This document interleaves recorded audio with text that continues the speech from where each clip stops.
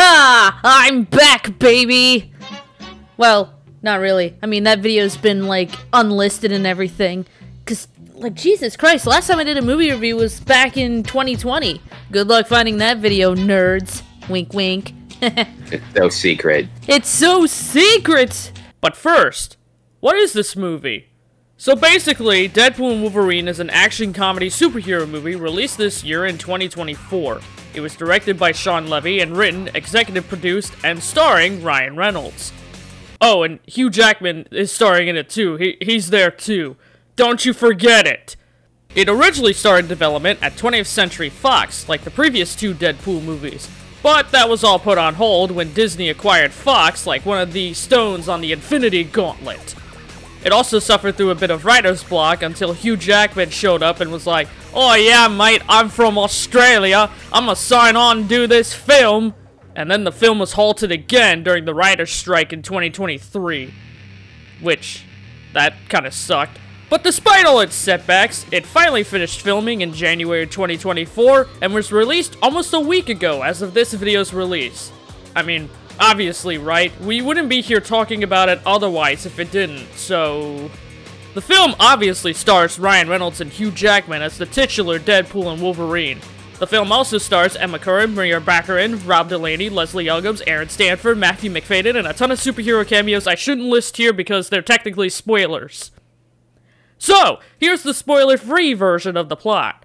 Deadpool's story picks back up right after the post-credits scene in Deadpool 2, where he goes back in time and everything, you know, and fixes things like preventing Vanessa's death, killing the Deadpool from X-Men Origins Wolverine, killing Ryan Reynolds so he doesn't play Green Lantern, yada yada yada.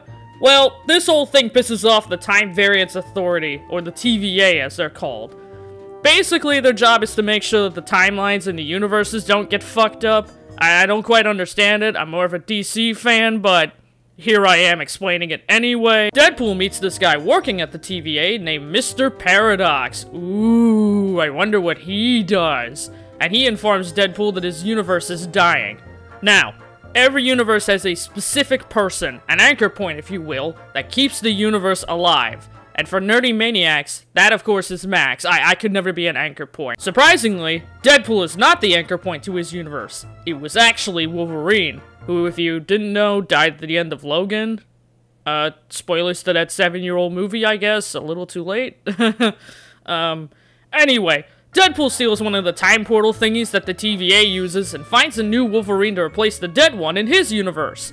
Unfortunately, as Mr. Paradox reveals, Deadpool found the worst Wolverine ever, and that his efforts to prevent his universe from being destroyed are absolutely fruitless. Oh, and to make matters worse, Mr. Paradox is like, you know what? Fuck you guys! I'm teleporting both of your asses to the void! And so now, they have to find a way back out of the void and stop Deadpool's universe from being destroyed. Anyway, back to Max and Jordan, who I'm hoping constructed their thoughts critically and without too many spoilers. Maybe. It's so secret! Just like all the secrets and stuff that they somehow managed to cram into this movie. Like, ooh, crazy. Good luck trying to find the Stan Lee cameo. Wait, there was a Stan Lee cameo? Maybe not. Maybe don't watch this if you haven't seen the film.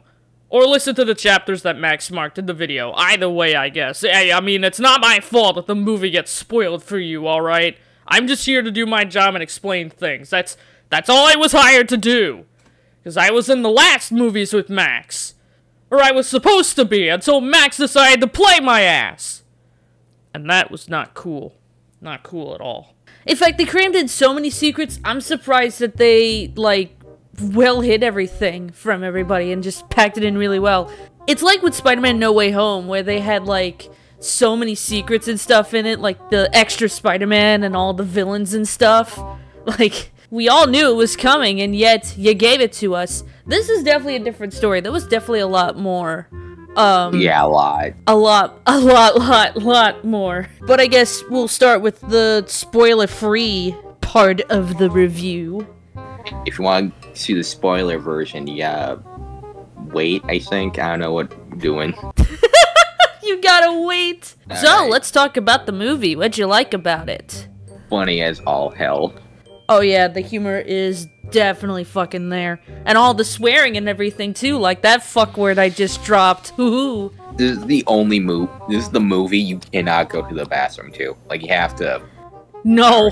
And actually, you know what? My mom did actually go to the bathroom a couple times and did miss a couple things. A couple crucial things too. A couple like whoa things, you know?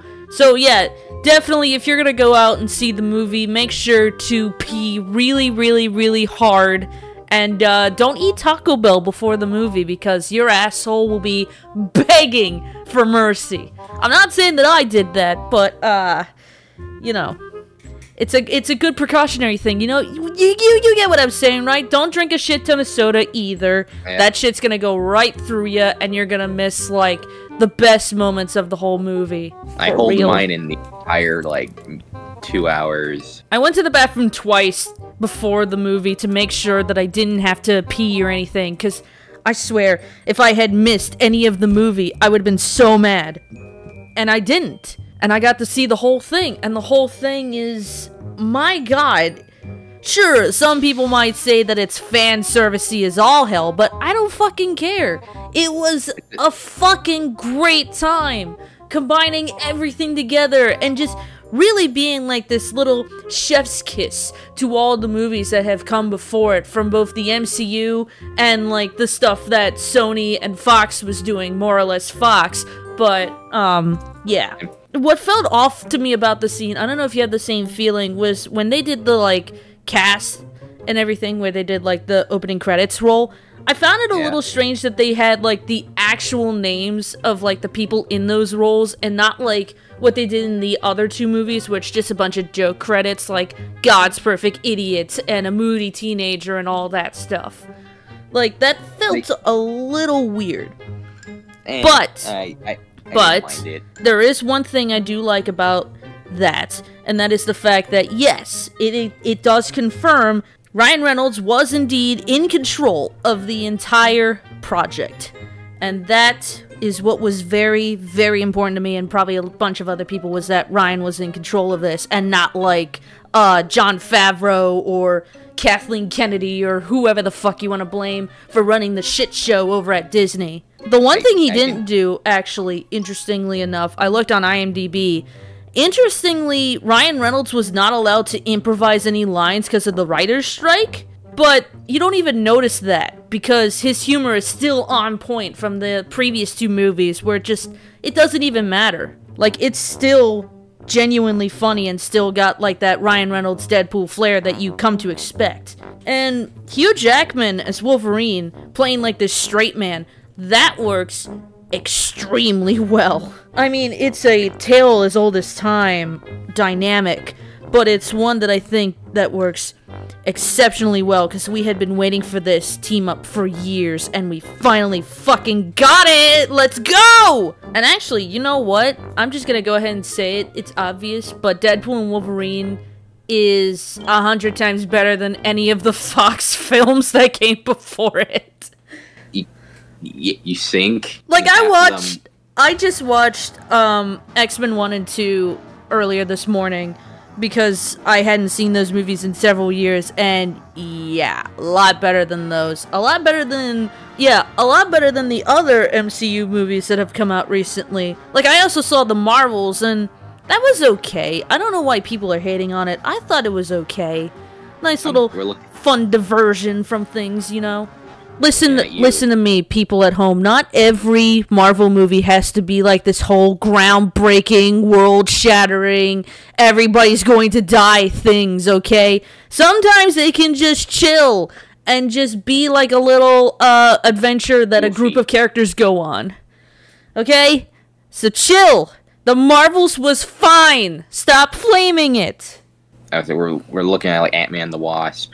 I liked Quantumania. okay. I also thought that was okay.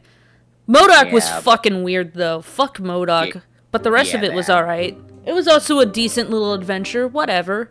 It's all whatever. But Deadpool and Wolverine, that is a must see film. If you are a See what you- huge, huge fan of Marvel and everything superheroes, you gotta go fucking see this movie, alright? It will They- change your mind. It will blow your whole world apart. It's just it's so fascinating. It's so funny. It's so action paced. It's got a lot of fights in it that are really well choreographed between Deadpool and Wolverine and Deadpool and Wolverine and other people. It's just, it's so fucking good. Oh my god. Deadpool and Wolverine Yeah. does it well and it's works beautifully with the plot. But at this point, the multiverse thing is becoming a tired trope. Because I've heard that as a common complaint amongst like other Marvel fans. I personally don't care, whatever. But it's becoming a point where it's become an overused trope, like cheesy dialogue or like stuff like that that has been in other superhero movies. Or like the typical like Marvel humor sort of thing. But like who cares? This is all in good fun. Now you can look at it in any perspective you want. I looked at it at the perspective of like I fucking love Deadpool and Wolverine and that's what I'm coming to see. I'm to have such a good and fun time and not give a shit about anything. In fact, I'm turning my brain off and letting my monkey brain go ooh ooh ah, ah. So, you know, I had a great time with it. Overall, it was fucking fantastic. Even with all the nerdy stuff that I noticed afterwards and like stewed over in my brain, it's like, yeah, this was a great fucking time. And you know what? I dare say I had a lot more fun with this movie than I did with like No Way Home. Like No Way Home is great, don't get me wrong. That's got a lot of great moments in it, but Deadpool and Wolverine, that's something even more special. Considering we had been waiting for this movie for 6 years and we finally got it and oh my god, it is just so great. An orgy of awesome, as I'd like to call it. So, yeah, definitely go out and see the movie if you haven't already. It's tickets at your local movie theater. Yes. This video is not sponsored by AMC Theaters, which might be the only theaters where you can get the fuckable Wolverine popcorn bucket. no, us got nothing from the from the movie theaters we went. I saw it earlier. I didn't get anything. No, I didn't either. Everything was all sold out. I had seen it like a day after it actually came out, so everything was just gone. And you saw it today, and everything was gone, so might be a while before they restock. I'm hoping that they restock by the time my dad and I go to see it. So, because I went with my mom, and now I get to go again with my dad. The joys of divorced parents! Woohoo! Yeah, high five. Yeah, high five, virtual high five, and everything. We'll, we'll animate it. Yeah, or like do something like this. there you go, that's your high five. You're welcome, editing me. Yeah, you should definitely see it, and also watch most of Marvel mo- movies. Yeah, I bet you my grandma was so confused because she had only seen Deadpool 1 and 2 prior to seeing Deadpool and Wolverine. Actually, I'm gonna go ahead and quote what she had commented on Facebook about that. She said, I have to say, I've never been a big fan of all these superhero movies, but now that I've seen Deadpool 1 and 2 and Deadpool and Wolverine, I'm now a Deadpool fan. And when Hugh Jackman ripped his shirt off, I'm now a Wolverine fan. So yeah, My mom. see all the movies or don't see all the movies. It might help you to understand things better, but you don't necessarily need them. It's still a good time without them. Speaking of Wolverine's ab, my mom did not did not like that. My mom is the complete opposite. When he ripped off his shirt, it was like, oh my god! My Thousands like, of middle aged women across the country orgasmed at the same time. Even all the gay guys finally lost all their edging streaks. In that moment, people turned gay. it was their gay awakening. If the X Men animated series isn't your gay awakening, then this movie definitely is. Especially that part when with the tailor and everything grabbing Deadpool's ass and crotch several times. Are we in the spoiler section now? Did you want to be in the spoiler section now? I got I got some. Okay, so tell me something. You look really excited to spoil the movie, so go ahead. Did not expect they're gonna pull out Fox properties in the movie. Yeah, basically the whole movie is like a love letter to Fox because it's because you know Disney acquired Fox. Fox and everything. And Fox did technically start the superhero movies, like for like MCU with X Men. Didn't they also do Blade as well, or am I mixing that up with somebody else? No, Marvel did Blade. I think Marvel did Blade. Was that just Marvel that did? Well, I don't know. I've never seen any of the Blade movies. You have never seen Blade? No, you kidding me? I'm not kidding you. God. Well, he here's the first spoiler. Blade's in it. yeah. Just like a couple of things I didn't. One thing I didn't like about the movie, the six one six when they put that up, where like Deb, uh, he's in. You know, he was Happy Hogan. Oh yeah, at the beginning of the film. Yeah, no, that I, I hate, I hate, I hate, I hate that because that's I that's con- that's the comic universe. So it's not the MC MCU. The MCU is on a different Earth, isn't it? Yes, but six one six is like the comic Marvel universe, like the mainline comics that's established. So you think it would have made more sense if it was the MCU Earth then? It was the MCU Earth. They're just saying that it's six one six. They've been doing that since since fucking Doctor Strange Multiverse of Madness. Which I also haven't seen, so I didn't even know any of this. God fucking damn it! I'm trying this so bad. Oh, wait What? until wait until I tell him I haven't seen Across the Spider Verse, audience. God damn, damn it! I, I can't even say anything about that. It'll help me prove my point about why that's dumb. no, go ahead, say it. I don't care at this All point. right. When Spider Gwen and Miguel talk, I actually I think this is in the trailer actually, so it's not really a spoiler. They talk about No Way Home. Oh, yeah. 99. I remember that from the called. trailer. That is literally the MCU universe. I don't know why they're talking about that shit. Why not? It's funny.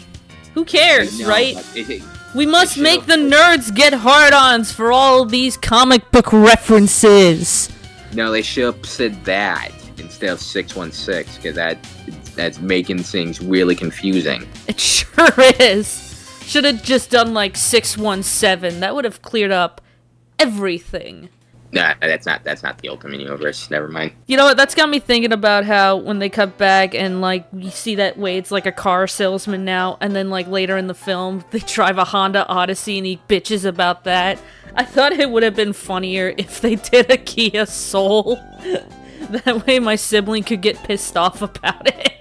Cause who who likes driving a Kia Soul? Honestly, if you drive a I Kia Soul, I I'm so sorry you you just have no soul. And if you're a ginger driving a Kia Soul, then that means you double don't have a soul. You go straight to jail. You go straight to jail. You not not county Alcatraz. You go in there with the Dementors. Alcatraz. You both Oh. are the Dementors from Harry Potter. That's Azkaban. Too bad they're Alcatraz is the one that Al. Capone went to. they merge prisons. They merged them together. Finally, some efficiency with all the multiverse bullshit. Basically, Blade, Elektra, Gambit, and X23 are there. And Janet Ham Gamble, not the one from X Men Origins. Yeah, no, fuck the one from X Men Origins. He fucking sucks. He doesn't even do the Cajun accent. But this Gambit, this this Channing Tatum Gambit that my mom really wanted to take his shirt off because he's Magic Mike. that Gambit is actually good. Great Gambit. Best Gambit I've ever seen since the animated series. And I was born in the year 2002. So you know I'm him- serious. I know, because I made him watch it. You made me watch it, yeah. Both You- the like, old one and the new one. chicken, Like chickens just strapped down watching all that. That's what I did to you. yeah. Watch the cartoons. Yeah, so like they, they were like this the resistance thing. So people. Yeah, the dead- others with um Blade, Elektra, Gambit, uh whatever oh, her freaking name is. L- Lalandra, you know, like the little girl that was in Logan. Yeah. Is it bad that I've never seen Logan? Oh my god! I don't know how I got through this movie without seeing like a majority of the X-Men films and Logan. But whatever, No dude. I was here for Deadpool and Deadpool Oh my god, he's so sexy. I love him. I'm not gay, but oh my god, those ass cheeks. Mmm. Play No them like wonder you asked me to come. bongos. And for, the, for and the paradox guy. And the moment I heard that, I was thinking of like Doctor Paradox from like Ben 10. I don't know who that is, but alright. I've never seen Loki. Wasn't Paradox in Loki? Uh, No, nah, it's, I think that's a different guy. That Oh, okay. Because I remember seeing this thing where it's like movies to watch before you go see Deadpool and Wolverine. And obviously, Deadpool and like all the X Men films are there. But then you also had things like the Loki series, and there was Blade, and uh, Daredevil and Elektra, and the Fantastic Four movies. Basically, just all the Fox and MCU movies as well. so. Mhm. I did like the touch where they did make Wolverine's skeleton, well, Logan's skeleton. Oh yeah, at the beginning of the metal. movie when he like un he basically desecrates Logan's grave and then uses his adamantium skeleton to fight those TVA guys. That was really great. Also, the Sabretooth fight, which I kind of wish they kind of extended it further. Oh yeah. And actually, Ethan and I, we um predicted what would happen with that. Ethan was like, "Oh yeah, they're just gonna do like a quick slash and then Sabretooth's dead." What I thought would happen, and I thought it'd be funny, is if they did like the Emperor's New Groove, where like before they collided, Deadpool just like pauses the scene and like comes out with a red marker and is like, "Remember, kids, this movie's about this guy, not this guy." All right. Like I thought that would have been funny, but I mean we were both on the same page with that where it's just like boom, it's over instantly.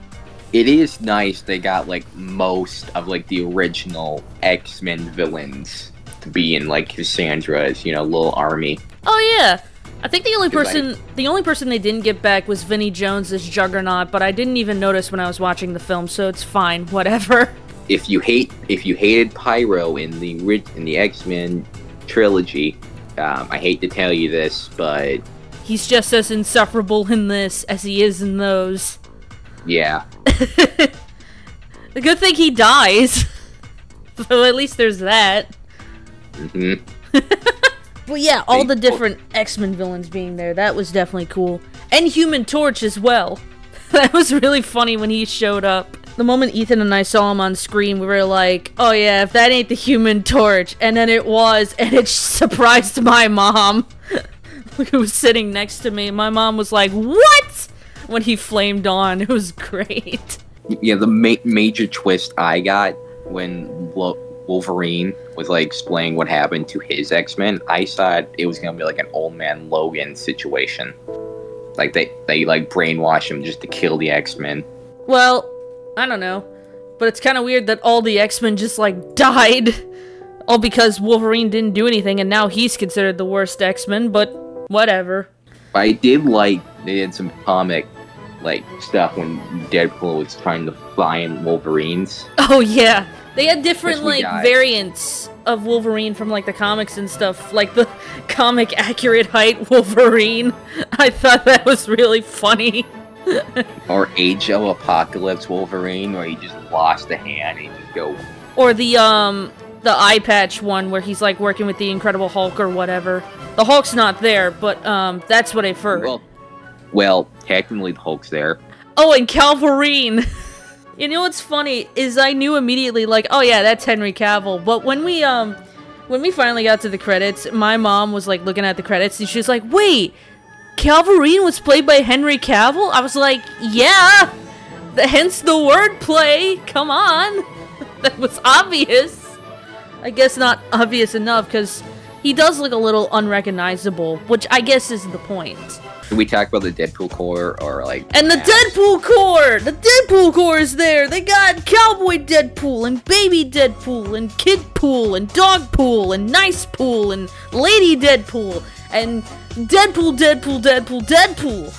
That that that is true. Yeah, I think my only problem with the Deadpool Corps, it, it's great. I love that the Deadpool Corps showed up. But my problem with it was they were fighting against the original Deadpool and Wolverine, which I found a little odd because in the comics, the Deadpool Corps is a thing with the original Deadpool, by the way.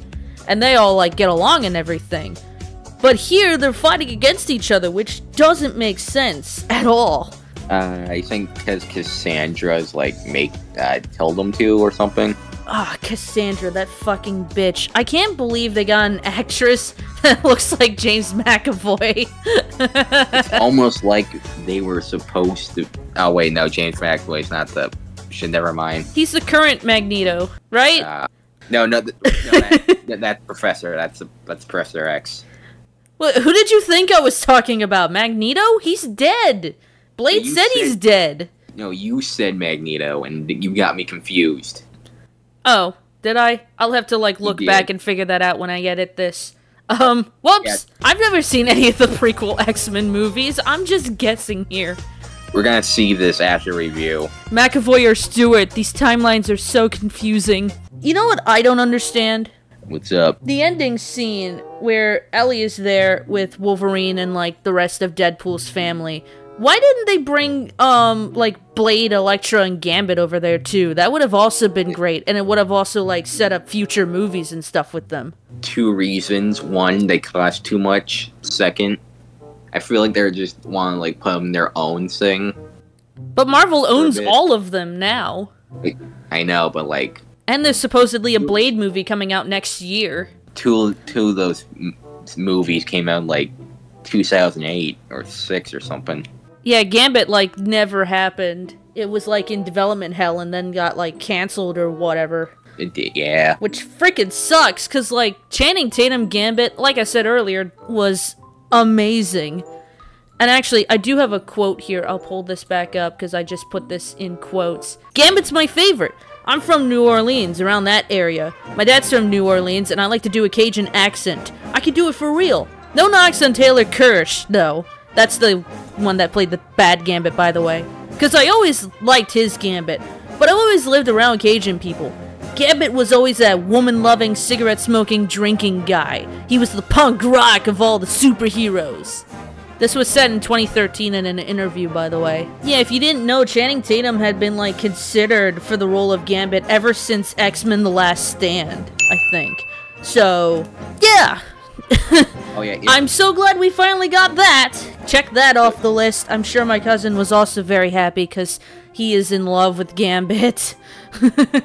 anyway. people who are like, uh, I at for like the ending, I did like how they put a little like fa- fan reel of the original Fox X Men movies. Oh yeah, that was pretty nice. Up until I saw Fantastic Four 2015 and I went boo! Cause fuck that movie. I was dragged out to see that movie by my cousin, and it was the worst movie I had ever seen. It was a waste of my two hours on this earth, and I would love to have them back. And all the other times where my cousin has made me watch shitty movies like Punisher Warzone and Sausage Party. Oh yeah, the Punisher is dead. Yeah, Punisher's also dead too. Oh well, Don't don't ask which one. They they they j- just pick a random one. they don't specify which one. There's a But bunch of them, but there's only one blade.